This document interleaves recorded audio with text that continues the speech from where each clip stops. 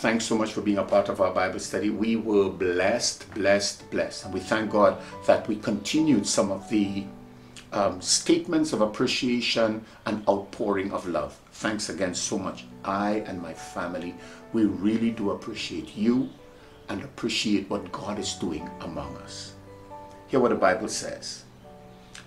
1 Timothy chapter 4, it says, verse 2 says, These people are hypocrites and liars, and their consciences are dead.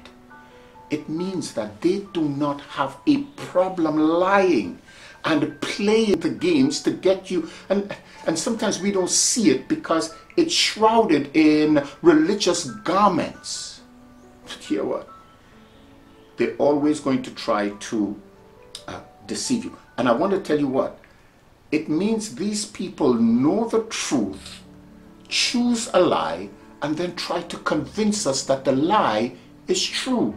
And sometimes because it includes some Bible stuff, we believe it. In case you are unaware, 80% of what the serpent said to Eve in the garden's temptation was true. A lot of what the devil said to Jesus in the temptation came from the Bible. It, but it was not meant to glorify God, nor was it meant to honor his word or his will. Could you imagine that somebody who is trusted begins to tell you a lie? Oh my goodness, it's devastating. The Bible says their consciences are dead. It means they either need, they either are seeking power, popularity, or financial gain. We've got to be careful, look out for it, because somebody's trying to get something from us so that it might enrich their lives.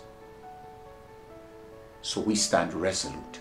We're not giving what we have that we've received freely from God. We're not giving it so that it is be used against God.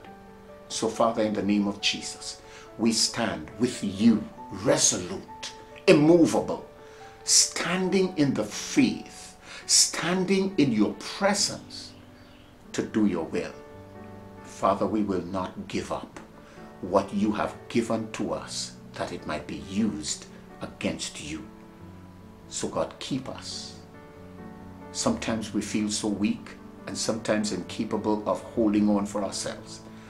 This morning we ask you to help us, to keep us constant and, and firm in your presence.